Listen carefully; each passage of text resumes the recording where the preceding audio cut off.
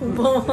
あどうもこんばんは。会いたいなってずっと思ってたんですあ、よ。本当ですか？嬉しいです。本この間新宿でお会いした時は、ちょっとファン心理がちょっと高じすぎて私あんま喋れなかったんですけど、でも三影さん本当に面白いと思いますよ。はい、いつも毎日見てますから。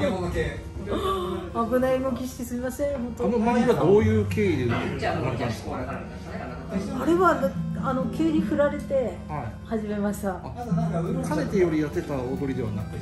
そうですね。まあ一人で多分あれはちょこちょこやってはいたんですけど、そういうふうにあの喜びの前ということではやってなかったです。どういう目的で何何が楽しくて楽しいんですか。あれ。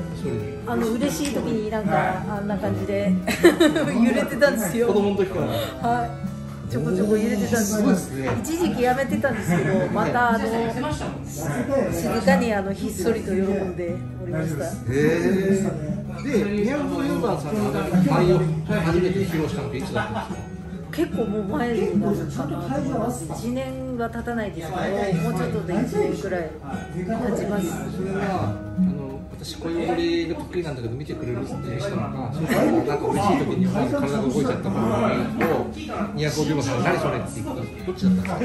えっと、その動いちゃってたんですけど、あの動いちゃってたんですけど、これを動画でやりなさいってずっと言われてたんですけど、やらないと、猫かぶってまして、発動しました。なんか元ネタはよくわからないし、なんかもうすごいオリジナリティが最高です。ありがとうございます。引き続き拝見させていただきます。あ すいません、ありがとうございます。ありがとうございます。